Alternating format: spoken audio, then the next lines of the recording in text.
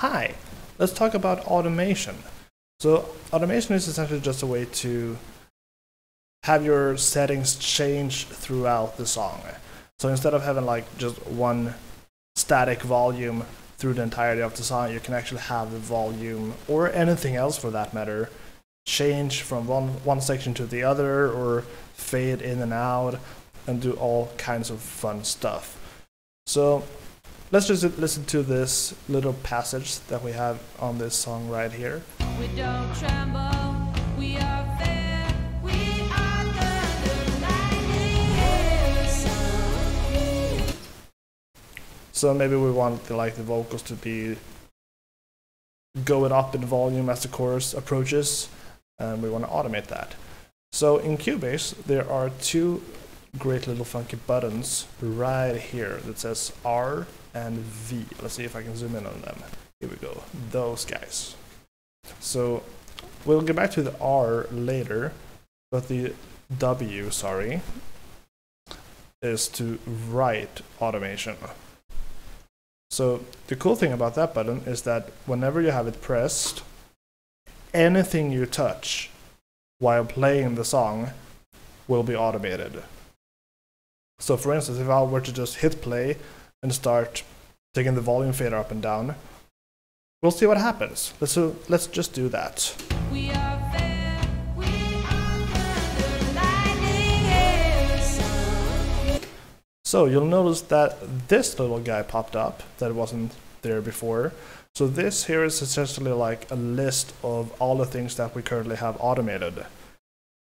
So the list starts empty as you can see on the other tracks, but the, the moment we start automate something, we get this little guy. And we can see the changes that we just automated are written to this track. And whenever we play it back, you will notice that this fader moves up and down according to the programming that we just did. We are fair, we are the lightning sun. So that's pretty cool. Uh, there's one little gotcha about this. So if we just go to say like the verse, we're like, oh, it's a bit quiet. You'll notice something here. The moment I pull that up, we start adding these little data points in, and the latest data point here actually applies to the rest of the song. So, say you've done like your entire mixing, you've done all the volume changes, and then you're like, oh, this the second verse can use a little louder vocal, and you start doing the automation, and suddenly you have messed up your entire volume for the rest of the track. And we don't want that. So there's one good way to avoid that problem, and that is by simply using the pen tool and put, say, mhm. let's go over here. Lightning sees the power, we don't tremble. So we want the volume to be back at normal at the pre-chorus. So we just make sure to put one data point there, and now we can do whatever we like, and we will not change anything after it.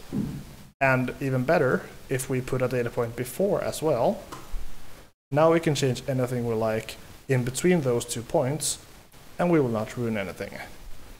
So now, if we just do the same thing, Now's the time when fates align.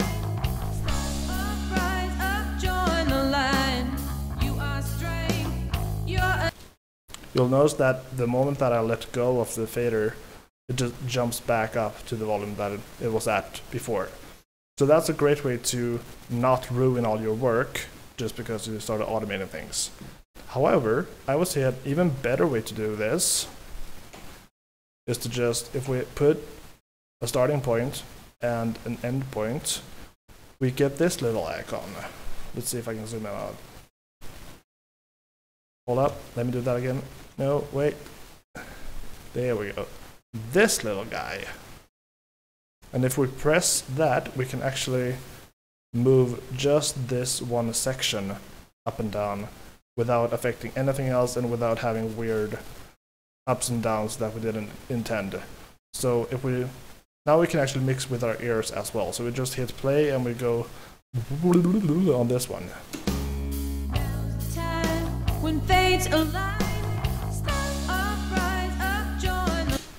So maybe we're good with that. So now we just have this volume going between these two sections and we have not changed anything else uh, involuntarily. But now we have this sudden spike up. So what I like to do is just put one data point slightly before and one data point slightly after. Then we can remove these two and we have a bit of a fade. Now if we like we can kind of adjust how this fade works, but I usually kind of keep it that way. We don't tremble, we don't care. So that's kind of neat. But there's so much more things than just volume that we can automate. Remember that I said like essentially anything that we touch will be automated. So, for instance, if we want, so as we go into the second chorus here, this is a bit different transition. Let's just listen to it. We.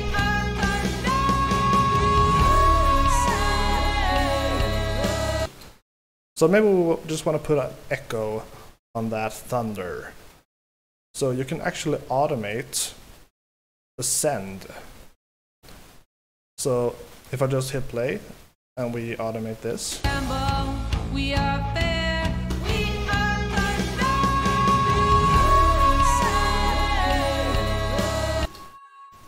let's actually solo it so that you can hear it better. And just solo the delay too. We are the.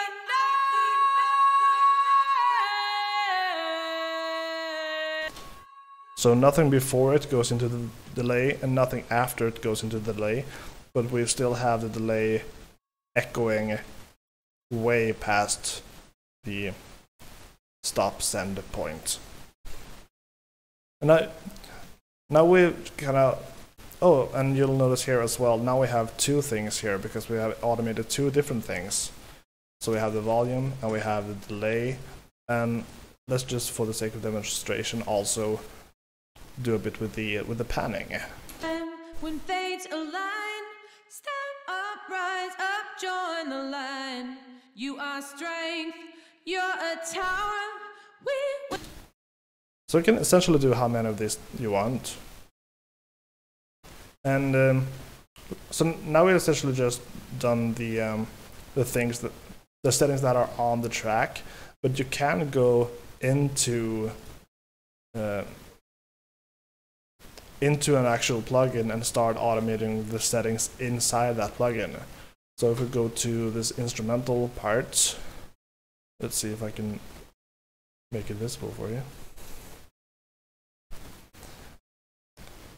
And I don't know where. So I have this fun little plugin here that essentially does. uh, wait.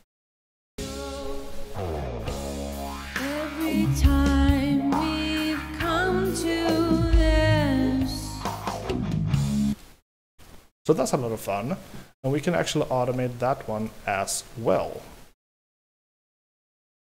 So this is settings inside the plugin, but we still just have the right automation enabled, and we just hit play and start doing our thing.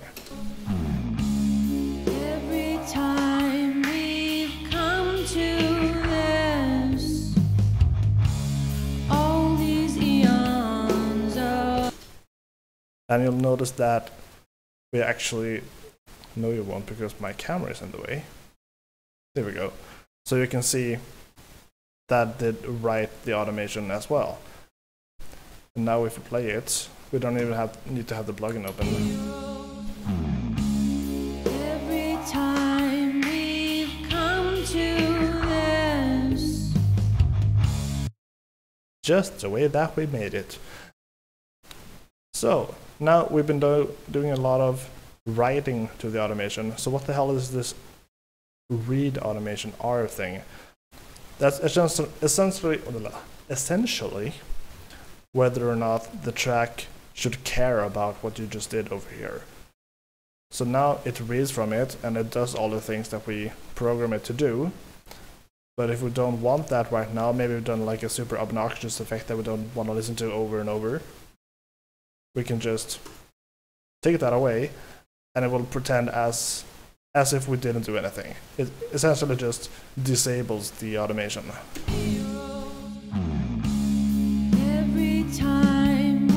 Which is going to sound like garbage if it's stuck in the setting that doesn't sound good. So let's remove the effect again. Every time we've come to end. And now it's just like it never even happened.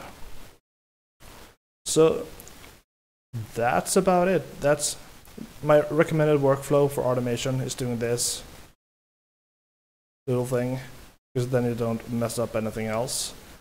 But you can do however you like. So go have fun with that.